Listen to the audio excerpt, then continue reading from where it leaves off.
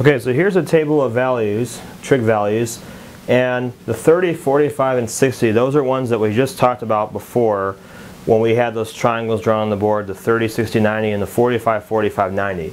I've actually put all the information together for you on a table, and this table is also going to be in the notes that follow this video for 30, 45, and 90. Now, I also want to take a look at 0 and 90 because these are values that I can put on these tables as well. So notice I've got the degrees and I also have radians, so that's filled for everything. However, uh, the sine, cosine, tangent values, I want to get that down from this drawing here.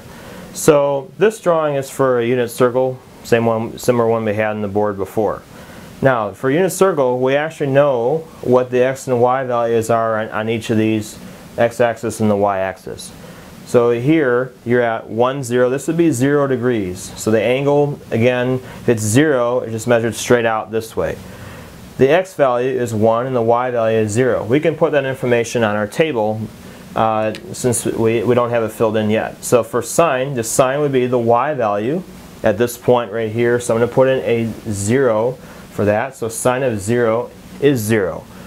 Cosine of 0, that's the y, uh, the x value, the x value at 0 degrees. So cosine of the x value is 1. I put that here. Tangent, the tangent is the y value, which is 0, over the x value, which is 1. So 0 over 1, that's going to give you 0, and that completes the top row.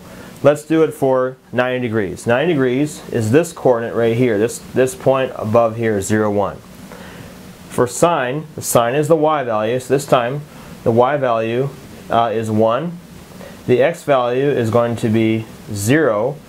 When you do tangent, the tangent is the y value over the x value. Now in that case, you have 1 divided by 0. 1 divided by 0 is undefined. So we actually have one spot on our table where we don't actually get a value. If you try and put tangent 90 degrees, your calculator, it's probably going to give you a domain or an error on there. That's why you can't do it. It's undefined because it's trying to take the uh, the y value over the x value, 1 over 0, uh, is going to be equal to be undefined. Whereas up here, it was okay because the y over the uh, x, 0 over 1 was 0. 0 is on top, it's okay. You just can't have a 0 on the bottom that you're dividing by. So this table, make sure you put a star next to it. Make sure you really look at that. And for those going to calculus, this table should be memorized. When you go to calculus, these values will be expected for you to know them and they're just going to put that on the board right away. And if you're not familiar with these, it may look like they're just grabbing numbers out of, out of air, but basically they come off of this table. So this is a very important table, so we are going to do a couple more examples based on this now. Okay, so now let's use the same table we just looked at before. Let's now find the exact value by using the table. We have these two problems, and both these problems require us to get values off the table in order to answer it. So I want to do tangent pi over 4 and cotangent pi over 4. Alright, now tangent, tangent pi over 4, we can get that off the table directly. Here's pi over 4. We're going to go over to the tangent column, and that tells us that we get a 1. So tangent of pi over 4, this is 1. Now for cotangent, we talked about before that cotangent is actually the reciprocal of tangent. So if we already have the value for tangent, if we take the reciprocal, that's going to give us the value for cotangent. Well, tangent is 1 over 1. If you take the reciprocal of that, you still get 1 over 1.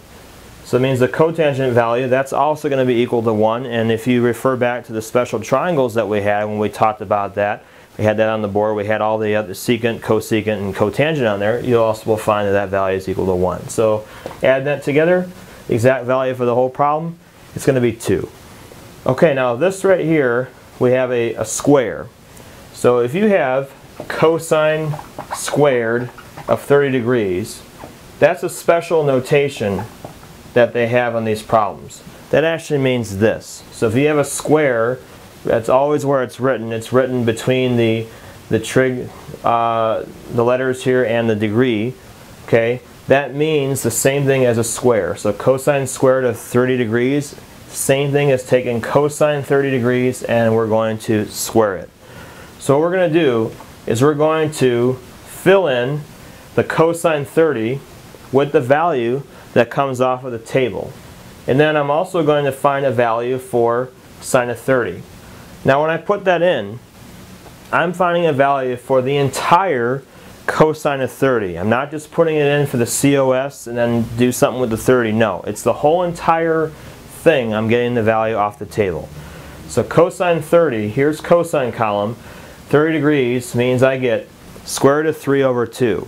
That means that the entire value of cosine 30, all of that, is square root of 3 over 2. So I'm putting all that inside the parentheses there. I don't have any more cosines. I don't have 30 degrees because all that is the actual value that came off the table.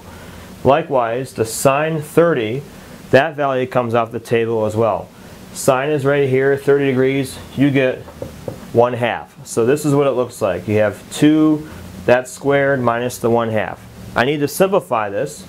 So I have 2 over 1. If I square the top and bottom, uh, square root squared is going to give you a 3. The 2 squared is going to give a 4. Then you have minus 1 half. The 2 and the 4, you can reduce that, and that's going to give you 3 halves, because you get a 1 there and a 2 down below. So you have 3 halves minus 1 half. That's going to give you 2 over 2, 2 halves, which is the same thing as 1. So the value, this the exact value for B, all that will turn into 1. Okay, now for C and D. Uh, we want to do 1 minus cosine 60 over sine of 60. To do this, again, we want to grab these values off of your table. Cosine 60, so 60 is here. Go over to cosine, that value is going to be 1 half. So on the top, I'm going to write 1 minus 1 half. That's the value for cosine 60. On the bottom, I want the value for sine 60. Okay, so here's 60 degrees. The sine is going to be square root of 3 over 2. So that's that value there. Okay, now in order, to, we, we can't leave our answer like that. We want to simplify it. So let's do the top first. 1 minus 1 half is going to give us 1 half. But that's being divided by the bottom, square root of 3 over 2. We want to uh, divide these fractions. You take the top fraction, multiply by the reciprocal of the bottom one. So you have 2 over square root of 3. The 2's are going to cancel you get 1 over square root of 3, but again you want to rationalize that answer. And we get square root of 3 over 3 would be uh, the answer for that by multiplying top and bottom by square root of 3 over square root of 3. So that answer is part C. That would be the exact value for this one. And let's take a look at D. Now this we have pi over 3, so we have radians on our table that we can use to fill our values in. Cosine pi over 3. So here's cosine pi over 3 is 60 degrees. The value from the table is 1 half.